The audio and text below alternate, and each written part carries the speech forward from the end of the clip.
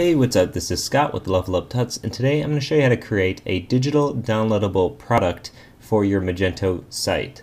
So to get started, it's nice and easy. We're just going to go where we went before. We're going to go to Catalog, Manage Products, and then we're going to click um, New Product or Add Product. It's up here in the top right, just like before.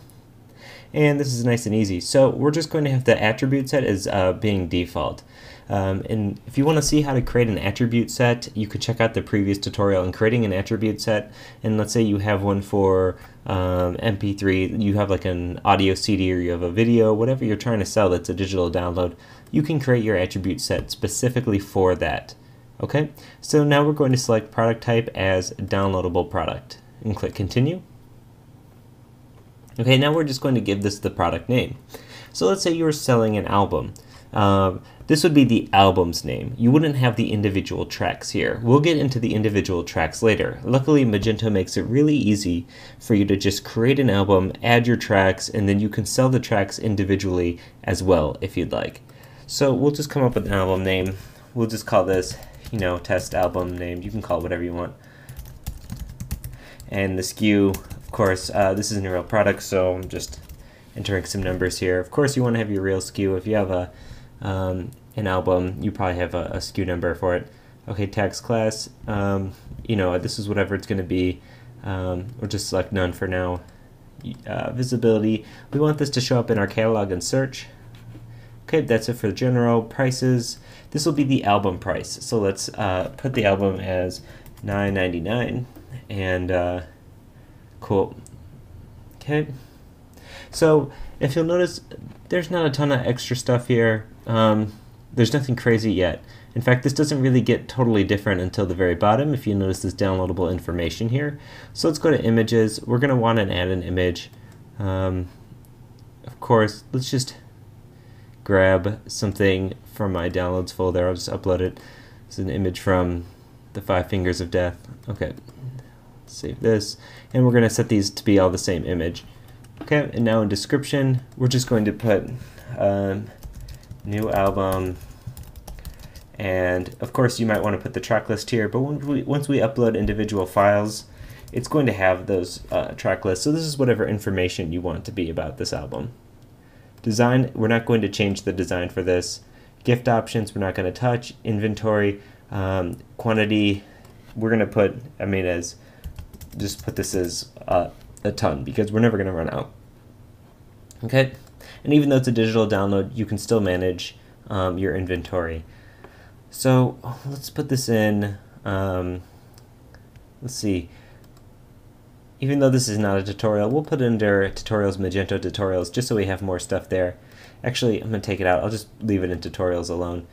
And we don't have any related products, no upsells, no cross sells uh, custom options, we don't have any custom options. But downloadable information here, right here on your left, this is where we get to the good stuff. So you can actually have samples. Let's say you want people to hear a small bit of the track without uh, being able to hear the whole thing or take the whole thing. You can put a sample here that they can listen to. Maybe you have like an audio watermark on it or something.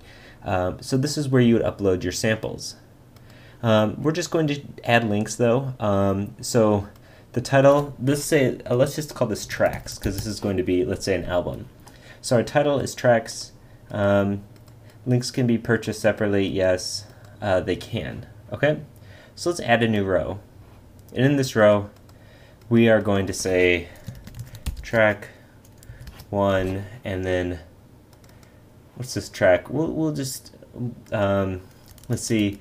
We'll pick a, a song here um, stars. Okay, it's just a bunch of audio I have in a folder here, and you can say this track individually is 99 cents.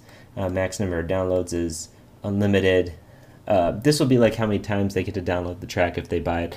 I'll just leave this as unlimited because if you bought it, then you bought it. You might as well be able to have access to it. Um, shareable, yes or no, use config. Um, yeah, you're going to want to set this up in your config. We'll go over that, but um, we'll just leave it to use config.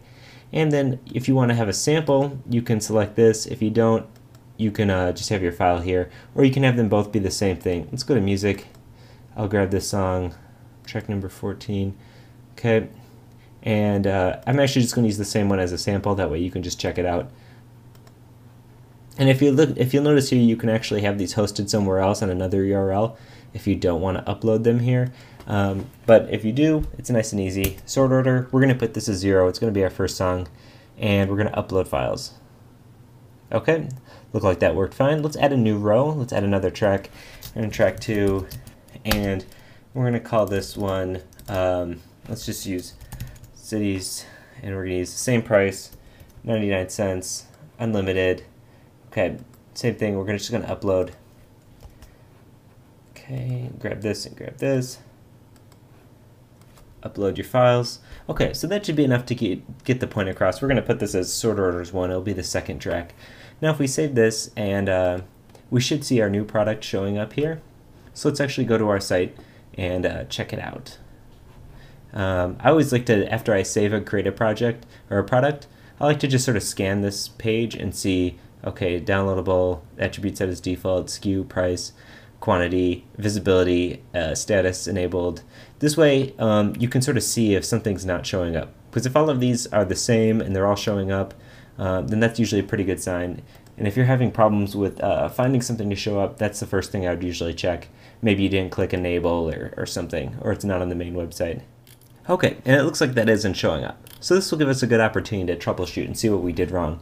Like I said, we scanned this, it looks like main, main website enabled, catalog and search.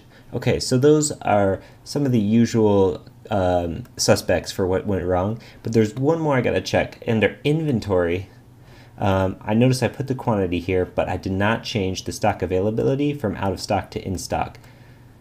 So this can happen, um, and I, would say it sort of frequently happens if you're new to working with Magento, or even if you're you haven't worked in a little bit. Um, there's all sorts of stuff where um, one little box can be not checked and then it just won't work or won't show up. So check, make sure your stock's enabled, uh, make sure your status is enabled, your visit, your in the correct visibility, and you should see it show up. So we'll refresh this page, and now we have our new album.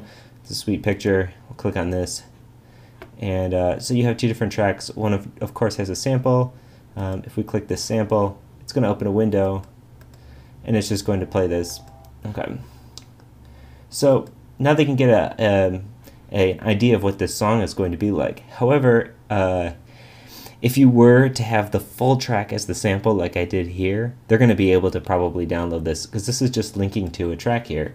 Um, there's all sorts of ways you could end up grabbing this track. Um, let's say you could inspect it. I think the file is probably just sitting here. So I would not have the sample be your full track. Maybe have it be a, a 30 second loop or something um, just to give the user an idea of what the song sounds like, but maybe not the entire song. Okay, so now we have two tracks. You can choose to buy them individually for 99 cents. Um, if you wanted to do this, you would uh, you could say you know notice how the the product is 99 nine dollars and 99 cents. We might want to change this to be zero, and then every single track they add is um, is 99 cents. But let's just add this, add this to our cart right now and see, it's going to make us select our options. Let's go back to our product and let's fix that. So let's edit. And that's downloadable information. And uh, so here, each track is 99 cents. Um, yes, they, we still want them to be able to be purchased separately. Um, however, let's go back here and let's say the general price, we're going to have this be zero. Okay click save and continue, or we'll just leave this save and continue so we can keep editing it if we have to. Now if we refresh, each track we add is going to be a little bit more. Of course, you can always have it be so they have to download the whole album if you want, or you can have individual tracks as individual products. There's all sorts of uh, flexibility here, and Magento really offers that, and it's great that they have this downloadable platform built into the uh, Magento software. So if we want to click this, you can see it's in your shopping cart. All's good. We proceed to checkout and it will provide the purchaser with the links to download. Okay, well that's how you create a downloadable product in Magento. If you have any questions or comments, please leave a comment on the video or hit us up at Twitter at LevelUpTuts. Once again, this is Scott, and thanks for watching.